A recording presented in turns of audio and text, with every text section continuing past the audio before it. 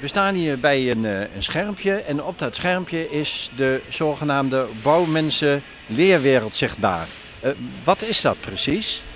Ja, het is gewoon gemakkelijker. Om, ja, je hebt de tekening en alles kun je gewoon gelijk voor je zien. En ja, tegenwoordig doet iedereen alles via een schermpje. Is het uh, systeem al uitvoerig getest? de, de, de, de, de test die is operationeel vanaf ongeveer vorig jaar november. want de tekeningen die zitten nu allemaal in de Moodle. En in de Moodle daar kunnen de, dat is een, een soort ja, waar de leerwerelden zeg maar, in zitten. En de jongens die hebben allemaal een eigen inlogcode, dus uh, die is gekoppeld aan een opleiding waar ze in werken. Dus alle tekeningen die ze hier ook maar nodig hebben, die zitten daarin. En daar wordt eigenlijk voor elke leerling wordt een portfolio opgebouwd, zodat ze na de tijd als de opleiding af is, kunnen ze alles uh, of op een sticky zetten. En dan kunnen ze daarmee tijdens de sollicitatie uh, laten zien van wat ze allemaal gedaan hebben.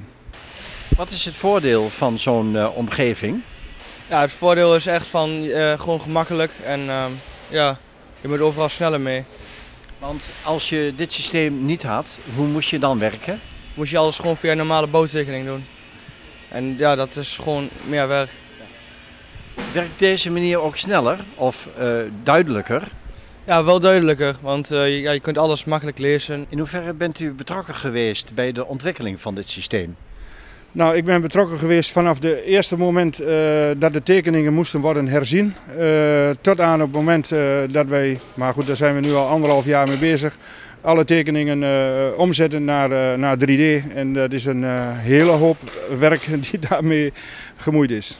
Denkt u dat het systeem zich in de praktijk gaat bewijzen? ik weet wel zeker van ja.